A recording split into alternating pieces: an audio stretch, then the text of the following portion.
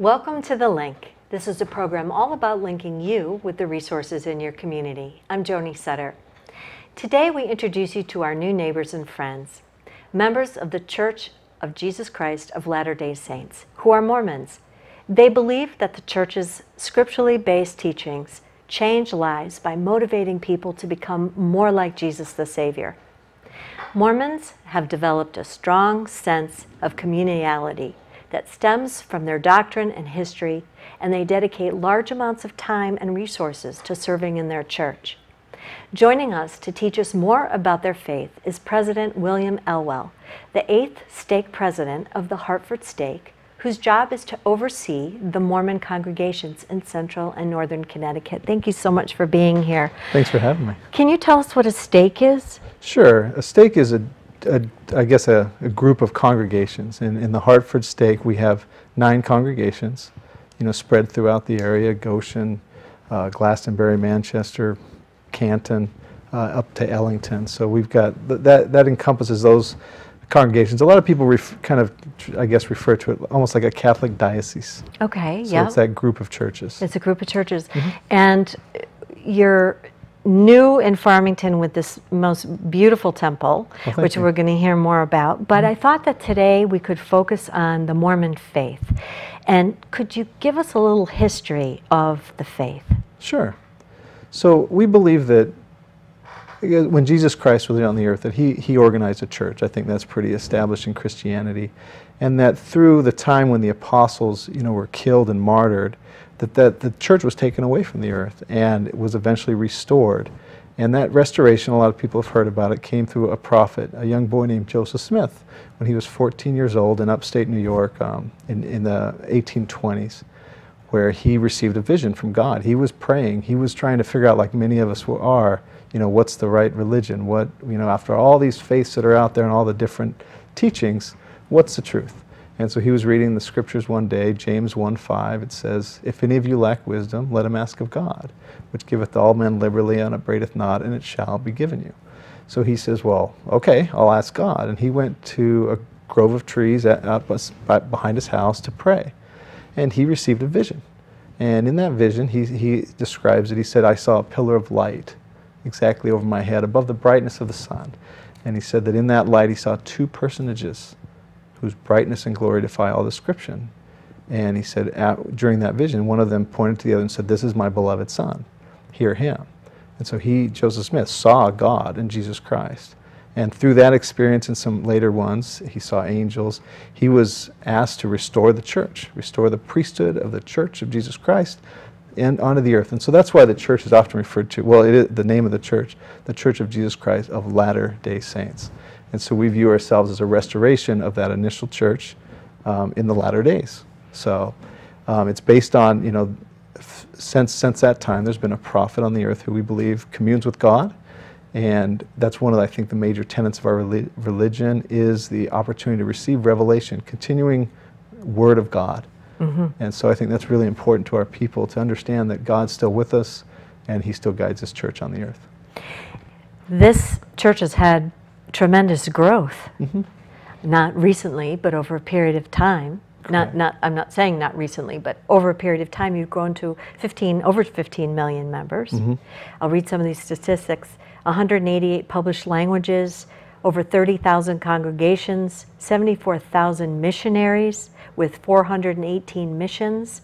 There's 151 temples, and we'll talk about the temples a little bit later, four universities and colleges, over 400,000 seminary students enrolled, and 4, over 4,000 family history centers. What is a family history center? That's a good question. So, family history is very important to our church because we believe that like many people, that our ancestors, you know, play a large part in our lives, mm -hmm. and even more so that we are tied together for eternity as families. And so we want to know more about our families. And it, actually, when we talk more about the temples, there's um, covenants and promises we make and opportunities we give family members that have passed away that haven't been able to do certain ordinances on the earth. They have the opportunity to do so through us, right. you know, in the temple. Right. And one of those is the baptism. Correct. Um, so would that be for someone who wasn't baptized that may be in your family? That's correct, yes. And so. you would want to know that that person would be um, having everlasting life. Mhm. And so the baptism can take place through a living member. That's correct. So Jesus Okay. taught in the New Testament, it's a you know scripturally based doctrine that you know baptism is the way into heaven through Him and through Right. baptism, and we we believe that's an actual physical ordinance that needs to be performed here on the earth, and that you know the interpretation of that's changed somewhat because people can't accept the doctrine that well you know if you weren't one of the few people that were actually baptized then somehow you're not entitled to go to heaven, which you know doesn't comport with the kind of God that most of us believe God is, a loving God who you know we are His children and He loves us. So uh, that that's the opportunity we have is to bless our ancestors through that opportunity where um, it's not con- conscription, I guess you'd say. You know, it's it's done sometimes by our youth, sometimes by ourselves. We go in and be baptized. So the actual physical ordinance of someone's you know baptizes you, puts you in a Submerged. font, sub, you know, immerses you in the water, and says that, you know a little blessing and and brings you out of the water, and um, you know then they have the opportunity to accept it or not in, in you know in the eternities. Right. So Mormons are Christians. Correct. And what do Mormons believe about God? Well, that's a good question, and you know, just about the Christians. I mean, the name of the church kind of says it all, right? We're the Church of Jesus Christ of Latter-day Saints. We we believe in God. We believe that God is our our Father of our spirits, that He's our heavenly Father, I guess you'd say, and that we're all brothers and sisters as His uh, you know children. We believe that He loves us. He has a plan for us here on earth. That He sent us down here to you know have certain experiences. Some are you know tough, some are wonderful, but throughout it all, we learn and grow, and then we return to Him after this life to heaven, um, and you know enjoy that kind of eternities with our with our heavenly Father. So you enjoy a real relationship with Jesus every day. Correct. We do. We we make that Mhm. important. We try to pray every day. We try Mhm. to do things that'll keep us closer to Him. hmm And I guess what I'm saying, what I'm sensing too about it is that it's a real relationship. It's not, um, uh, uh, how do I want to say, a ritualistic type of relationship. It's a real relationship. It's a daily walk with God. It is, and I think you know we we talk a lot about serving others, and you know Christ taught that if you love me, you'll serve others, essentially. Mm-hmm. And I think that's where it comes from. Is as you learn to love people around you, your life becomes more about that, about serving others, about blessing others. You know, paying things forward. There's so many ways you describe it in society, but it really is just looking out for others and not being so, I guess, focused on ourselves and selfish and prideful that we're able to help others. which is all part of the, the good old ego that just kind of gets in there all the time. Do you believe in the Trinity? We do. We believe, we talked about God and Jesus Christ and the Holy Ghost. We believe in the Trinity. We worship them as our, you know, as deity. Um, but uh, some people believe that they're one and the same. We believe they're three separate personages, and some of that comes from the scriptures, and some of it comes from the, you know, the experience Joseph Smith had, where he saw two distinct beings, and you know, the baptism of Jesus, where there were distinct beings exhibited there with the dove and, you know, Mhm. Uh, Right. Jesus Christ being baptized and, and God speaking. But but we certainly believe in the Trinity. Can we talk about the 13 articles of faith? I, we're not going to have time to talk about all of the 13 articles, but they're, they kind of um, spell out, you know, the, the larger picture. But number 11 specifically, Sure. So the, the, the Articles of Faith, they were written a long time ago in response to some of the questions that many people have, which is, you know, what do Mormons believe? And I think, as you mentioned, that we don't have time to go through them all, but they're a really good recitation of the major kind of tenets of the, of the religion. So there, it's a wonderful thing if you want to know what Mormons really believe and think about. There's 13 articles of faith that kind of go through some of the steps about we believe in God, the Eternal Father, His Son Jesus Christ, and in the Holy Ghost. That's the first one. Number 11 is interesting, and we were talking about it before because, it, so just to, to quote it, it's, uh, we claim the privilege of worshiping Almighty God according to the dictates of our own conscience. And we allow all men the same privilege. Let them worship how, where, or what they may. And what's you know happened over time, and think, thinking back to that Joseph Smith story, you imagine the times where you know so much conflict over religion, right? Just even here in our country, you can go back millions, you know, hundreds of years and think about the wars that have been fought over religion. But here in our country, where we claim a freedom of religion, you know, that's part of the American ideals. it's it's important for us to make sure that we are, you know, both, you know, worshiping as we choose, but also allowing other people the same, you know, freedom, the same opportunity. Uh, and having real dialogues about you know what we can believe together, kind of what are our common beliefs, instead of tearing each other down. I think that's really important. Mm-hmm. And here in the area, and, and you know throughout the United States, of course, too, and, and uh, throughout the world, we try very hard to work with other religions that are in our area. We have wonderful interfaith councils here in the area, and we you know, really, really appreciate the, the good work that the Catholics do, the Jewish Federation does, and so many others, the Episcopalians, and all that we work with and try to do joint things with as we, you know, help, work to help the poor, work to help in uh, town cleanups together, not as, you know, kind of forcing people out, but bringing people in and trying to be inclusive. So. That's wonderful. Oh, thank you. Now, what does the Mormon faith believe is a purposeful life for someone? What would a purposeful life look like for a Mormon? Well, that's a good question. Part of it we've talked about, right? Serving others. It's Yes. um, obviously, you know, we, we're part of, you know, you're doing everything you got to do in life. Your education, you'd be well educated, um, because we believe that no matter what you, what your passion is, what you decide to do, you should, you know, try to try to learn as much as you can about those kind of things. And we believe family is very important. Our, our faith has always been very focused on the family. And so, you know, having a family, raising good children to the Lord and, you know, helping them to be faithful as well is very important to us. And a very big job. A very big job. I've Very got four job. children of my own. I've got four girls, and they range from 21 now to uh, five. So she just entered kindergarten. I mean, those, those that's serious work. Serious work, and it's a long time. the long it time. doesn't end. You know? It doesn't, doesn't end. end, and you have to be a, a good example, and you have to have um, support along the way. I think as Absolutely. parents, you We're have to have trying to- support. Trying to make sure they don't make the same mistakes we did. Yes. Right? Do Mormons believe in the Bible? Absolutely, we do. The Bible, you know, is the Word of God. You've got the Old Testament, the New Testament that talk of, of our relationship with God, and especially the testimony of Jesus Christ. And a lot of people think we don't, and that's because of our emphasis on the Book of Mormon. Mm-hmm. And the Book of Mormon, just to, to take a step back, was uh, revealed to Joseph Smith. You know, when you think about the Bible, it talks about God's dealing with his people in Jerusalem, in the ancient world, the old world, right? You have the Old Testament, and then the New Testament where Christ comes, and we learn about the renewal of, or Christ's mission and, you know, his atonement and sacrifice for us. And at the same time, in that same general time period, a group of people came over to the Americas. They were led by God to the American continent. And you see the same progression there that where they had prophets that, that spoke with God that tried to teach the people. People were sometimes good, sometimes bad. And you know, they had their lives and their wars. And that's the history that the Book of Mormon talks about. So it's very complementary to the Bible. We um, see, it, see them both as the Word of God, and they both testify of Jesus Christ. The Book of Mormon has a, a subtitle. Says another testament of Jesus Christ. And so we believe both. And the Book of Mormon came from Joseph Smith. It, it, it was revealed to Joseph Smith. Um, he was given, he was shown by an angel some ancient plates, gold plates, that were um, written on by these prophets throughout the years and kind of, I guess, uh, compiled by one of the prophets into this record. And he was given the power of God to translate those records.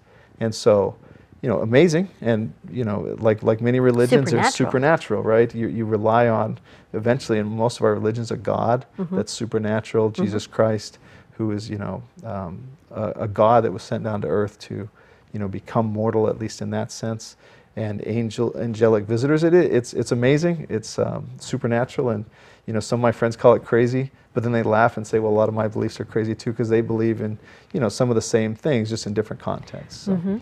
And the angel was Angel Moroni? Angel, Angel Moroni. Moroni, Mm-hmm. and that's the angel that's on top of the structures. That's exactly right. The temple structures. On top of almost every temple that we build, uh, you usually see him with a horn, you know, Uh-huh. and that's uh, uh, symbolic of the uh, angel in the book of Revelations in the Bible. Mm-hmm. It says he will go out forth and proclaim the everlasting gospel. And we believe that's a literal representation of what uh, was prophesied in Revelations, is, So- is the angel Moroni proclaiming that Pro- gospel. proclaiming, and, and it's, it's beautiful testament there, certainly, um, on, on top of the temple.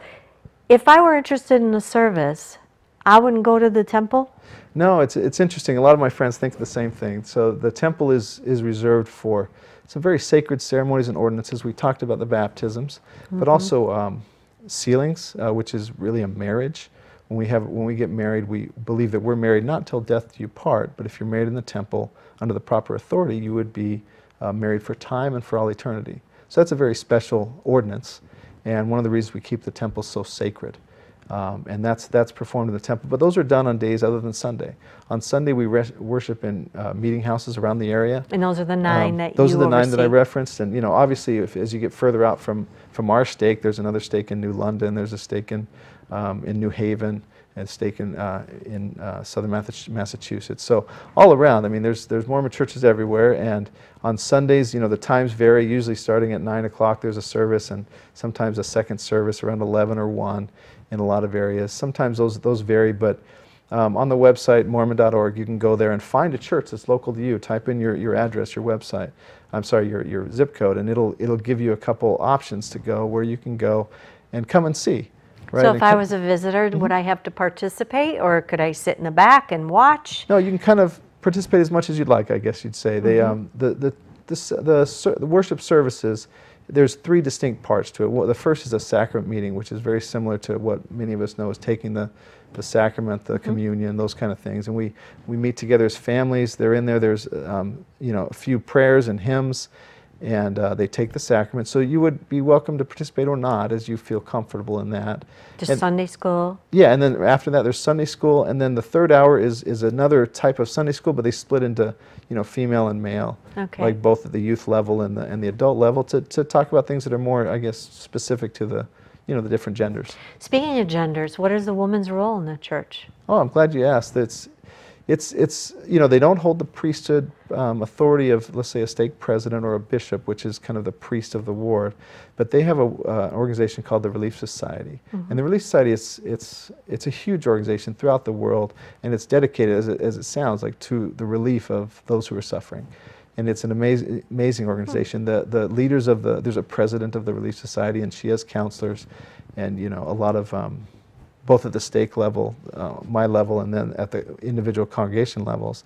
And those they direct the, the work of all the women in the church in the church throughout the church. And you know, a lot of their work is humanitarian or focused on helping the women with their families, and so much to do there. But they sit on our leadership councils. They're very involved in everything that we do. There are some misconceptions about the Mormon faith. Uh, what would some of the bigger ones be that you would want to talk about? Well, one of them I think that's you know people like uh, often think of, and I remember I was on a mission. I was a missionary to our church when I was 19 in Spain, and that, that came up even there. Is polygamy, plural marriage? You know, having more than one wife. And the church did did practice that in its early days. If you know the history of the church, it was you know started in upstate New York with Joseph Smith, but it, you know the the saints grew the church through Ohio and then Illinois and Missouri, and then eventually moved uh, migrated to the Salt Lake City Valley right? And while they were there, there was some uh, plural marriage practiced. Uh, they believed from God, you know, rev- by revelation to help the saints at that time, similar to you know some of the ancient patriarchs in the in the Old Testament who had multiple wives, like David and Solomon, ordained by God until they went wicked. But um, that that practice, you know, it, it stopped 125 years ago. There was an official pronouncement of the church not to stop doing it. And ever since then, the, the Mormon church has not practiced polygamy, but it's still really associated with it. I had people back on my mission, and even now, every once in a while, joke about, oh, how many wives do you have? I thought that. Yeah, so I have one beautiful wife. She's very kind to me. She's uh, very, very patient with me. But Embarrassingly, I Yeah. thought that. I Okay. thought, well, they, they still practice yeah. Um, polygamy, but no, No, for a it's long, long time. No, it's been it's like I said, it's been a, over you know over hundred years, and a lot of that is because there are still people in the United States that practice it. Some of which I guess okay. could be termed as you know splinter groups from the Mormon Church. Okay. That when the Mormon Church decided to stop that practice, um, they didn't believe that was right, or they didn't want to follow that for whatever reasons. And they continue it, and some of that is glorified on, you know, we, uh, the HBO show, you know, um, I'm sorry, Big Love and Sister Mm-hmm. Wives. And so a lot of people, it is on the public consciousness right now because there are people that are still living that way. And, you know, people have the, the choice to live how they want to live, which is, we just want to make that distinction. It's not sanctioned by the church and um, not, not part of the Mormon doctrine. Very focused on health and, and well-being, and so no drinking, no smoking. Eh, Where, what is the basis of that? It's a very good question, and a lot of people notice that because it's it's very, uh, I guess, front and center for a lot of people. I, I you know, I'm a, an attorney by trade. I, I go to a lot of meetings, and there's always alcohol there, and Or some coffee. pe- and coffee. We don't drink coffee. We don't smoke. No illegal drugs, and so that that comes from not just the the logic of, I guess, trying to live more healthy, but it comes from another revelation in the early areas of the church where um, they realized it wasn't a good thing to do, and God gave them a, a code of health called the Word of Wisdom. And it has a lot of things in there about trying to eat meat sparingly and try, you know, moderation in a lot of things. But the main tenets of it, you know, no that people remember: no alcohol and no smoking, And the no tea and coffee? coffee. And that's tough for. Is the so- tea and coffee because it's a stimulant? We believe so, I and there's Mm-hmm. really no explanation. I don't want to try to make one up to try to, Mm-hmm. you know, but the, the logic of it would seem yes, because of the, you know, the, the I guess the stimulant, the nature of the other drugs that are prohibited Mm-hmm. Right. in that. But it's um, so it's a lot of people think it's the caffeine, but we, you know, a lot of people, a lot of other Mormons will drink. Uh, Well, I've never had No, it, so I can't say I miss it. And you know, I've been a lot of long, long, you know, trials that, you know, everybody's pounding, you know, ten cups of coffee a day, and they're looking at me like, "How do you do this?" And I Mm-hmm. ho- hopefully it's just because. I mean, I assume it's just because. I would say there's blessings associated with it too, but there's partly Mm-hmm. that I've never started, so I never have to stop. So. Well, it's wonderful that you're so involved in the community as a, an interfaith uh, part of the community, uh, working alongside the community leaders. I know that's been true here in Farmington um, with the new temple that's uh, in Farmington. So it's wonderful, and we wish you all the best with the temple and what's going to be happening over there for the people uh, that are in the Mormon faith, because I, I think there are they're very specialized times when folks can go there Right. that are are Mormons. Yes. Yeah, so it's, you know, like you said, no, no Sunday services um, Mm-hmm. there. And it's open at certain times for, for those who are ready to go and do the ordinances they want to do, Mm-hmm. either for themselves at first or, or for their ancestors. It's a wonderful thing for us. Right now, we're driving two and a half hours to Boston. You know, so when you add up two and a half hours there, two and a half hours back, it makes it difficult to do it on a regular basis. Yes, it and that's what we're asked to do is to worship on a regular basis there at the temple, Yes. along with our typical Sunday service. So. Yes, and the grounds are beautiful and everyone can enjoy them. Uh, we do when we drive by and we, we notice how beautiful they are. I mean, it's a it's just a jewel right there in, in Farmington. And so it's wonderful to have you. And I'm so glad that you were able to come here and explain the faith. The websites that are going to be provided at the end of the program um, are very informative for anybody who wants more information. But to have you here and to be able to ask some of these questions has been just wonderful. So thank you so much for coming. Thank you for having me. I really Oh. appreciate the opportunity. We hope that for anyone watching that's, that's interested, that they come and, and see. As we said, come join us for a service. Come join us, come see the temple um, and enjoy the grounds there. We try to make it as beautiful as possible. But we'd, we'd love to get to know you better. And you know, whether you join the church or not, we want to be part of your, um, to help, help people, to, as, as we like to say, to make bad men good and good men better we're always trying to just help other people mm -hmm. and help you know help them in any way we can as, as they would want to help us i'm sure so. Wonderful wonderful so organization. Oh my goodness. And for all of us at nutmeg tv i'm joanie sutter. Until the next time. Thank you.